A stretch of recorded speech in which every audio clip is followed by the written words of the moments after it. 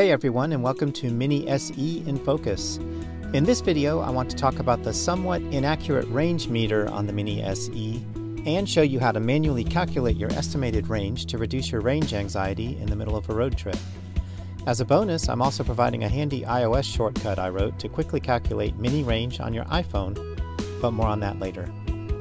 To review, this is my 2022 Mini Cooper SE Full Electric. I've had it for over four months and 4,000 miles.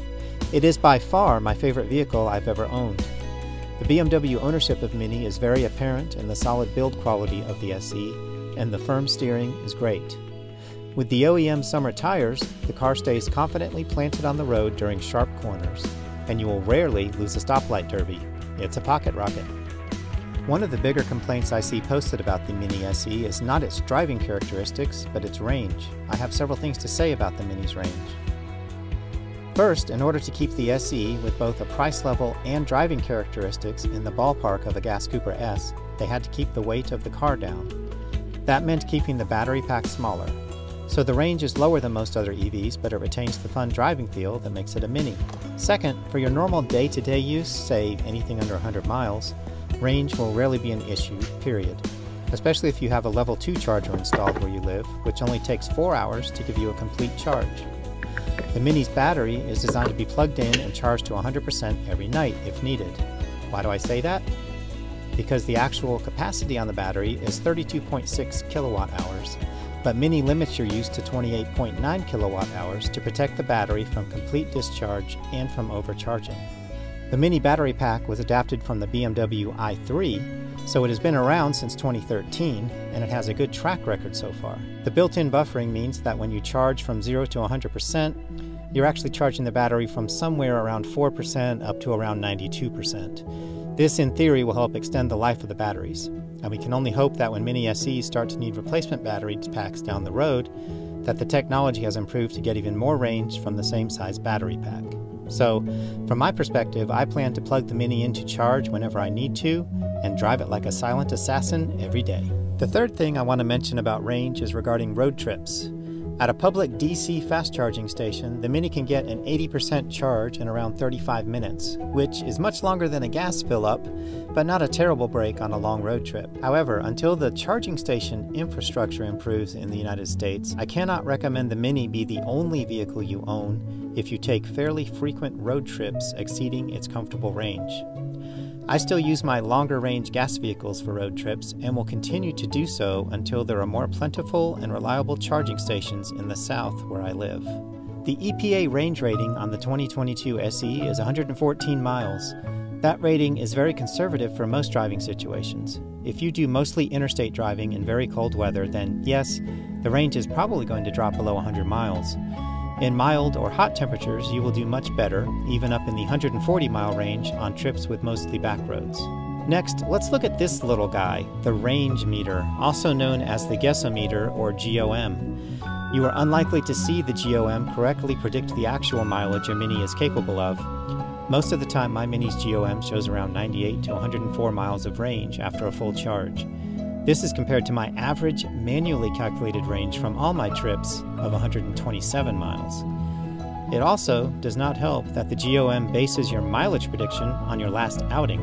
So if you charged up the battery overnight for a long trip today, but you ran a few errands yesterday in sport mode driving like a maniac, the range prediction is probably not going to be all that meaningful for the drive you're about to make.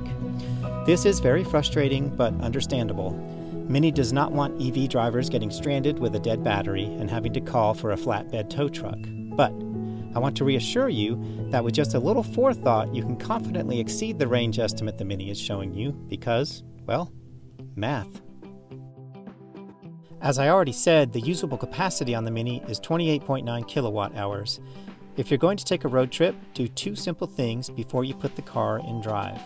Reset your odometer to zero and note your starting battery percent, not the inaccurate reading on the main instrument cluster.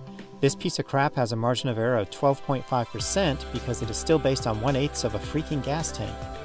Mini should redesign that with more segments and multiples of 5 or 10. Instead, click the top button on your left-hand stalk until you see the actual battery percent and note what the value is.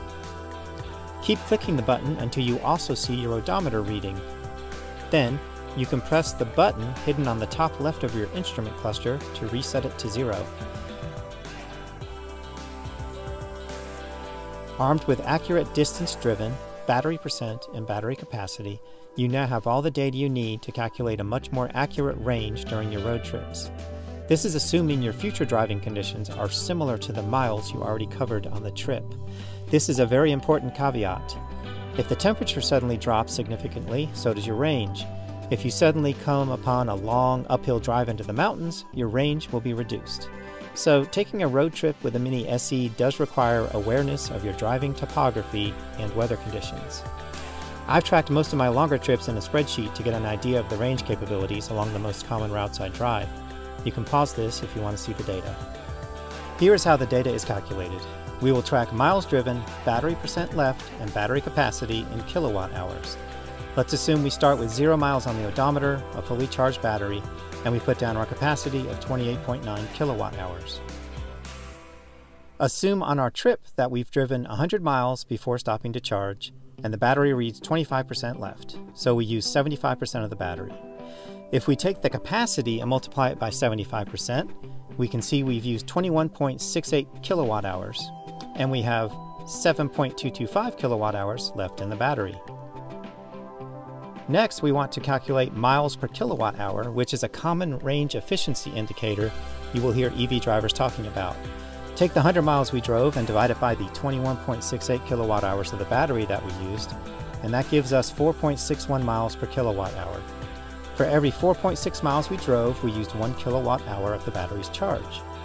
To estimate how many miles we have left on the battery, take that 4.61 and multiply it by the 7.225 kilowatt hours left, to get an estimated range of 33 miles. And finally, add those 33 miles to the 100 miles we already drove to get a total calculated range of 133 miles. Now, I don't know about you, but I'm not taking a whiteboard in the Mini to calculate range. What I did instead is write an iOS shortcut on my iPhone, which allows me to do all of this math in just a few seconds.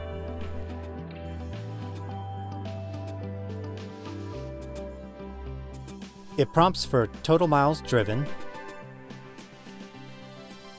the start battery charge, the ending battery charge, and then it does all the math for you. In the video description, you'll find a link where I have shared this iOS shortcut, as well as a link to the EV range icon I created if you want to add the shortcut to your home screen as a fancy looking bookmark. Once you have the shortcut on your phone, simply touch the three dot menu and select Add to Home Screen. Then, under Home Screen Name and Icon, touch the default icon and select Choose Photo. Find the icon photo and crop it to your liking, then save it.